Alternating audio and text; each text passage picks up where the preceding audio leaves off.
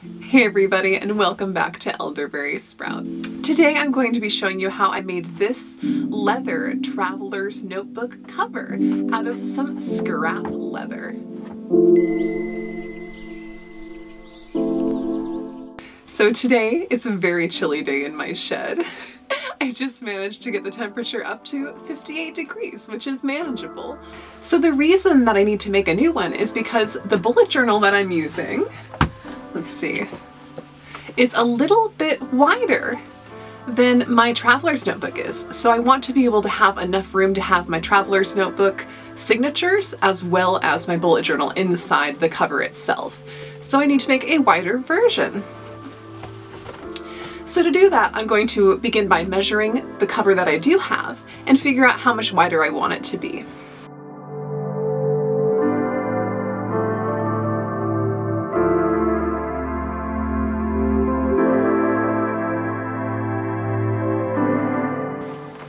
So believe it or not, if you can tell from the color difference, this is the same leather that I made this out of originally. So thankfully I have enough left over to make another one. So let's look at the dimensions.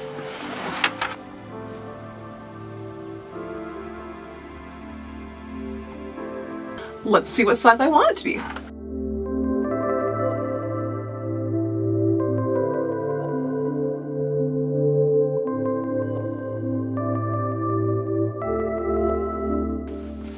After inspecting this, I've decided I want it to be three quarters of an inch longer on the top and on the bottom. So that's gonna be an inch and a half total to the width of this piece of leather.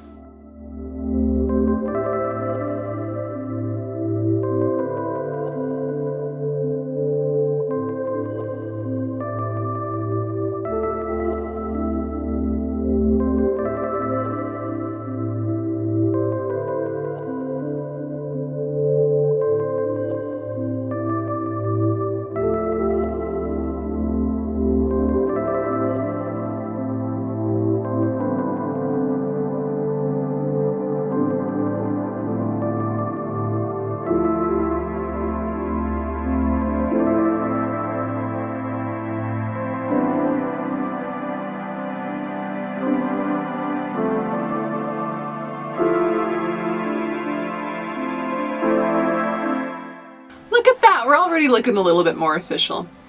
And I will say that I do prefer to use, ooh, beauty YouTuber, that little hook style of uh, uh, X-Acto knife blade. So that cuts really well on leather. So let's see how everything fits. And I know that I like this number of signatures particularly, so I'm going to make sure that it's this exact amount of stuff that fits well. But as you can see, we've got quite a bit of extra room on this back end. So I'm actually gonna trim probably about half an inch off of one side. So it's like a quarter inch off of each. Because once this is, this gets more squared over here, everything will shrink back.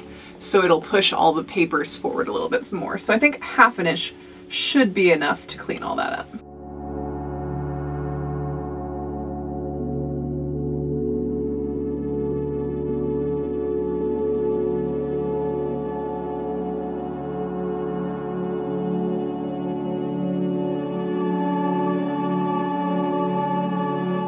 Okay, now let's try that again. Oh, see, that's perfect. That's exactly what I want.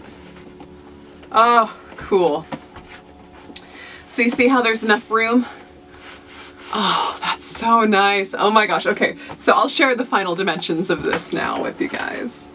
13 and 7 eighths wide, 8 and 7 eighths tall. So there we go, that's awesome. So now I'm just going to do a little bit of massaging to get the spine to be the shape I want it to be because I kind of want it to be squared, not just like one crease, but kind of like a book where it's got two creases to make a spine section so that I can punch the holes exactly where I want them to and it stays in the right shape.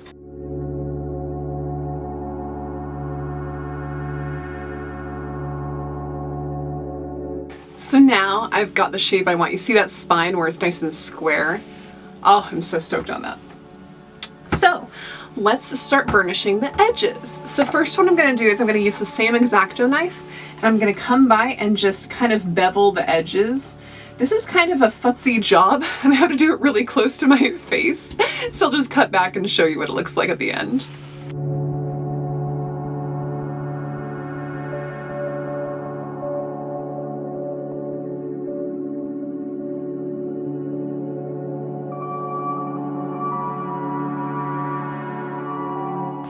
So here I've beveled all of the edges. Let's do a little zoom in here for you so you can see what I'm talking about. So I've made it so that each of these edges isn't sharp. That way I can burnish it and kind of shine up the edge so that it's not rough like the inside of this leather is. So it's pretty uneven, but I'm okay with that. I could buy a really fancy leather working set and get like more even edges here, but this is good enough for me. So the next step for me is choosing which side I want to be the front and the back. There's a stain here and a stain here, and I kind of think I like this stain better, which is kind of silly. It's like right there in the front. I don't know, maybe in the back. No, I think I like it right there in the front. Because it kind of looks like it's more worn here, and it's the front, so it makes sense that it would be like more splashed on than the back would be. Anyway, so that's gonna be the front. Now, let's punch some holes for my elastics. So I've got this lovely leather punch tool, which uh, is perfect for this job, but I've also decided that I want to do three holes just like my other version here. So those, I also like the spacing of them, so I think I'm pretty much just gonna copy that.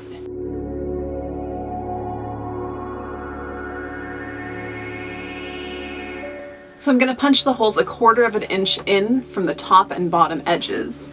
And then I'm also going to space the next holes about a quarter of an inch over from that center point.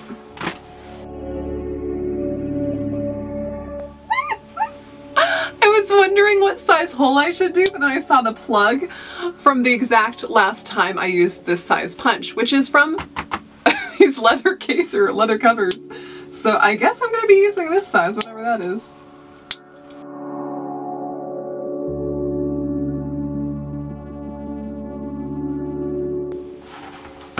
There we go, baby. Yeah.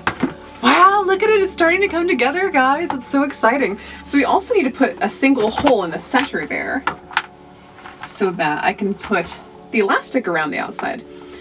I was thinking, however, about how in general bullet journals have a elastic going from the top to the bottom, so feel free to do that. You would just put a single hole in the back part of the journal, so you'd put a hole right here, then you can have elastic coming around like that. But I think I'm going to stick with the Traveler's Notebook style elastic from the center back. So let's put one there.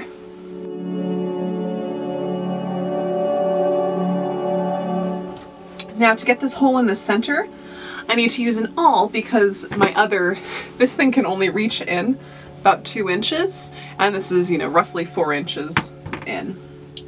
So I'm gonna use this awl.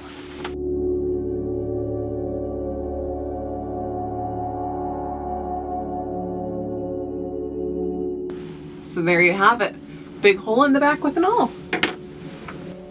So now it's time to add my elastics. This is just some elastic that I've salvaged from, I don't even know where, somewhere, probably a thrift store somewhere. But um, it's a little bit thin for what I would like, but uh, I'm going to use it anyway. So first I'm going to start with putting a double knot there because I don't, or an overhand knot I suppose, because I don't have a super long piece. Okay, and now I know this piece is long enough because it's going to reach from the top to the bottom and back. And then there's going to be a couple little pieces to tie, so I know it's the perfect length. So to start off, I'm going to lace it through the top, top center hole. Lace both ends through that.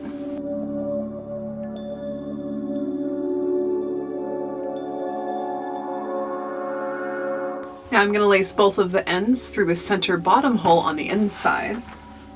And that will give us two loops.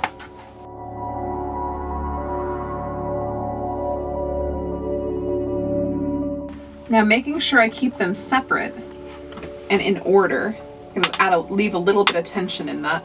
I'm going to flip this over and lace them accordingly back through, scooching over and going back through from the outside to the inside. Oh, hi little bug. And after doing that, gonna lace back up through these holes.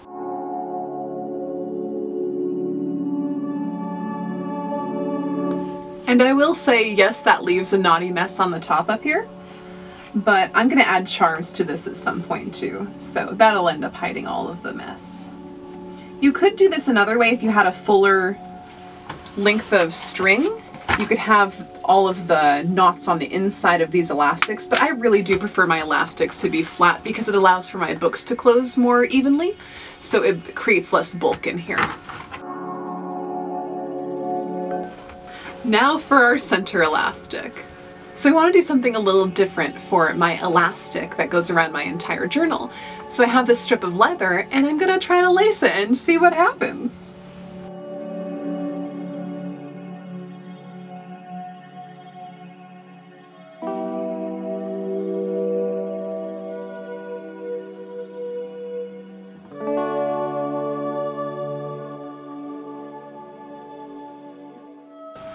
After getting this leather installed, I wonder if I'm going to end up using this leather. I might end up switching it out for an elastic because I think it's going to be an ordeal to open and close this and uh, to have to like loop the or loop the leather and like make sure it stays tight. So I might be a little tired of this after a while, but I think it's worth experimenting with because I try to stay away from synthetic materials as much as I can, and elastic is one of those. While I was making this, I was also contemplating using just cord, general cord, because it might end up working in here. If you, if you space everything properly and you al allow enough room for your, uh, I guess for your books to shift slightly so it won't be as tight as an elastic would make it. But um, I think you could totally get away without using elastic, just finding some cotton cording. And that would make this a completely biodegradable product. It would just be leather with a, uh, you know, a cotton cord in the center. So anyway, I might experiment with that more down the road. So let's get her all filled up and see how everything fits.